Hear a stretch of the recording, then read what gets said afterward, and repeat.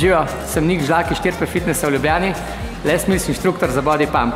Body pump je vodena vadba z težmi, kjer dela celo telo. Vabim te, da se mi pridružiš 21. septembra 2019 v Arboretumu Volči Botok in jo probaš tudi ti.